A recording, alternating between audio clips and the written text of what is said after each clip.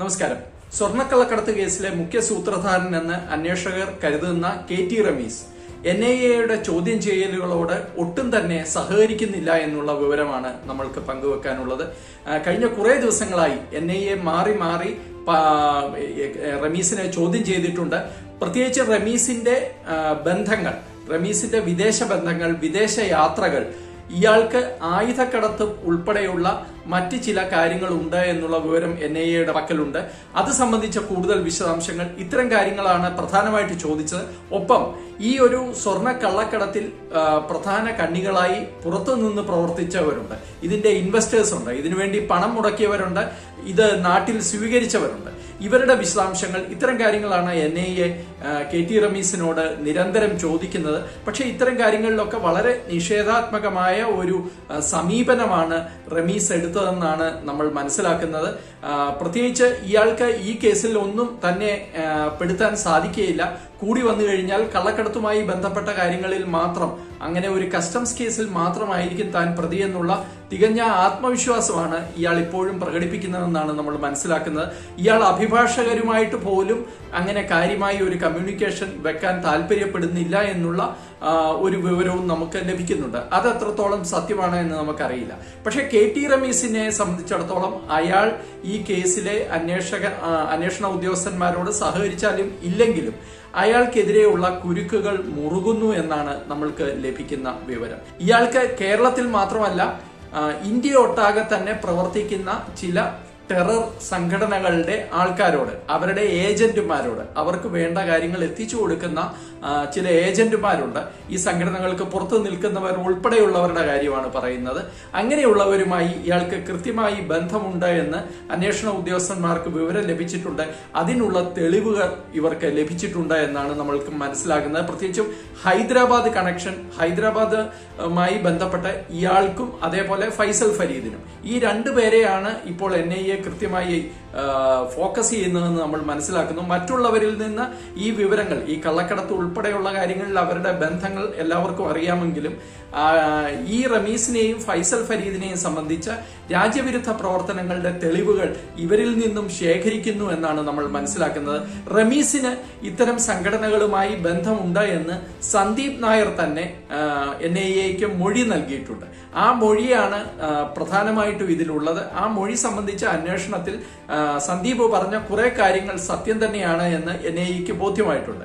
റമീസിനെ സംബന്ധിച്ചിടത്തോളം റമീസിന്റെ ബന്ധങ്ങളെ സംബന്ധിച്ചിടത്തോളം ഇയാളുടെ യാത്രകളെ സംബന്ധിച്ചിടത്തോളം എൻ ഐ എ ഇതിനോടകം കൂടുതൽ വിവരങ്ങൾ ശേഖരിച്ചിട്ടുണ്ട്. കള്ളക്കടത്ത് കേസിലെ മറ്റ് പ്രതികൾക്ക് പോലും അറിയാത്ത ബന്ധങ്ങളും യാത്രകളും റമീസ് നടത്തിയിട്ടുണ്ട്. പലപ്പോഴും ഇയാൾ ഗൾഫിലേക്ക് യാത്രകൾ നടത്തിയിട്ടുണ്ട്. ഈ കൂട്ടാളികൾ പലരും അറിയാതെ തന്നെ യാത്രകൾ നടത്തിയിട്ടുണ്ട്.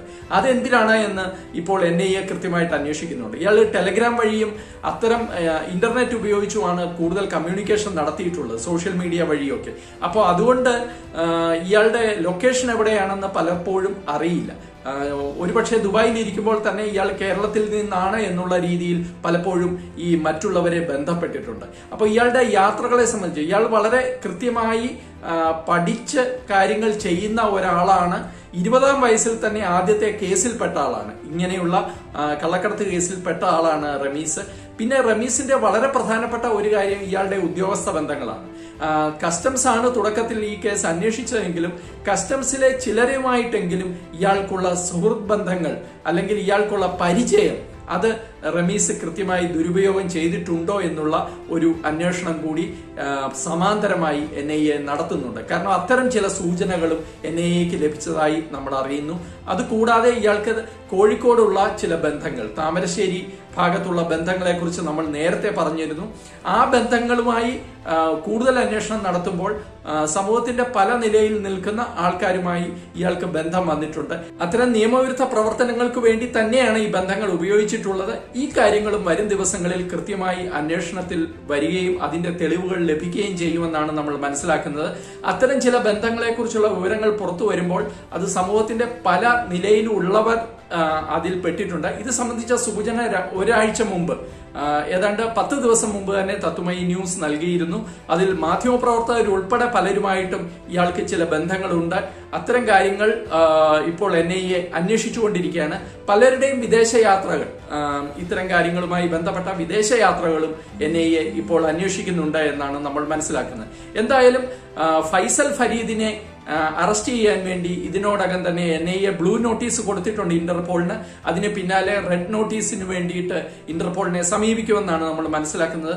ഫൈസൽ ഫരീദ് അറസ്റ്റിലാകുന്നതോടുകൂടി റമീസിന്റെ ഈ ഒരു വിദേശ ശൃംഖലകളെ കുറിച്ചും ബന്ധങ്ങളെ കുറിച്ചും ഇയാൾ ഇവിടെ നടത്തിയിട്ടുള്ള ടെറർ ഫണ്ടിംഗ് ആക്ടിവിറ്റീസിനെ കുറിച്ചും ടെറർ ഫണ്ടിങ്ങുമായി ബന്ധപ്പെട്ട തീവ്രവാദ പ്രവർത്തനങ്ങളുമായി ബന്ധപ്പെട്ട സംഘടനകൾക്ക് പൈസ എത്തിക്കുന്ന കാര്യത്തിൽ ഇയാൾ നടത്തിയിട്ടുള്ള പ്രവർത്തനങ്ങളെ കുറിച്ചും കുറച്ചുകൂടി വ്യക്തത വരുമെന്നുള്ള ഒരു വിശ്വാസമാണ് എൻ ഐ എക്ക് ഉള്ളത് എന്തായാലും ഒരു കാര്യം ഉദ്യോഗസ്ഥന്മാർ നമ്മളോട് സൂചിപ്പിക്കുന്നത് ഒരു മൂന്ന് സംഘടനകളുമായിട്ടെങ്കിലും റമീസിനും ഈ പറയുന്ന പോലെ ഫൈസൽ ഫരീദിനും ബന്ധമുണ്ട് എന്ന് തന്നെയാണ്.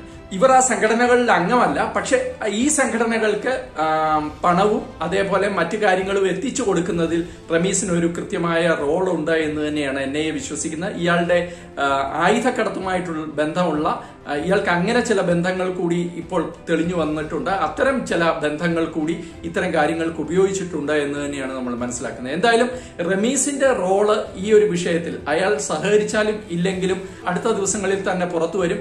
അത് വരുന്നതോടുകൂടി ഈ സ്വർണക്കള്ളക്കടത്ത് കേസിന്റെ മാനം തന്നെ അതിന്റെ ഒരു തലം തന്നെ മാറുമെന്നാണ് നമ്മൾ മനസ്സിലാക്കുന്നത്. അത് ഏതാനും ദിവസങ്ങൾ കഴിയുമ്പോൾ തന്നെ സംഭവിക്കുമെന്നും കൂടുതൽ വിവരങ്ങളുമായി എൻ ഐ എ കോടതിയിൽ എൻ ഐ എ റിപ്പോർട്ട് നൽകുമെന്നും അന്വേഷണ ഏജൻസി റിപ്പോർട്ട് നൽകുമെന്നുമാണ് നമ്മൾ മനസ്സിലാക്കുന്നത്.